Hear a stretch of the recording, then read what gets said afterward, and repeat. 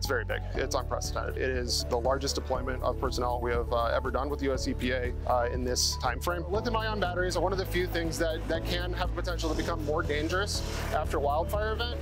Uh, we call that thermal insult. Uncontrolled uh, up in the burn zones is uh, is what we're, we're eliminating, right? We don't want uncontrolled batteries that may be dangerous to exist up at the sites. So our first step is reconnaissance. So we've gotten reconnaissance information from people on the ground, uh, from other data sources to go figure out exactly where these vehicles and these ESS systems are.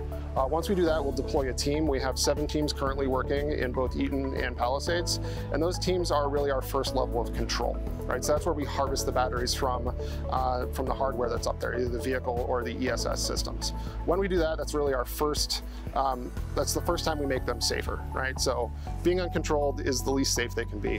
When we put them in drums or up in fire blankets, when we, when we put our hands around them the first time, that is the first step to safety. Uh, and we obviously, um, you know, manage them in appropriate appropriate uh, sort of volumes as, as we transit. But in the drums and in the containers that we ship them in from up there to down here, uh, we, we, we, really, you know, our objective there is safety. Uh, then when we get here, uh, down to the staging area and the battery processing lot you see behind me, um, this is sort of our second uh, step to making them safer. So if there is stranded energy, right, if the batteries were not consumed in the fire, uh, if they do ha have still stranded energy and the potential to go through thermal runaway, what we do is put them in an electrolytic brine solution. What's that mean? Salt water, right? So we use uh, a mixture of uh, sodium chloride, so table salt, and sodium bicarbonate, baking soda.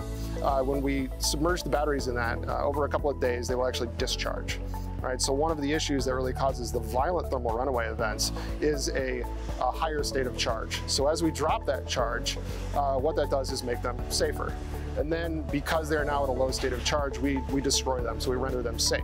So the next time that they move, right, when they leave the site and they go back to the community and they go back on the freeways uh, here in Southern California, they are safe, right? So uh, the process behind us is the way we do that in bulk, right? So we brine them down, crush them, uh, render them safe so they're no longer a battery, they no, no longer have any uh, way to hold charge, right? We have mechanically uh, eliminated that potential and that's, you know, that's, that's how we, how we proceed with this operation. We don't have a complete picture yet of how many are out there. We're still doing reconnaissance and we really appreciate it.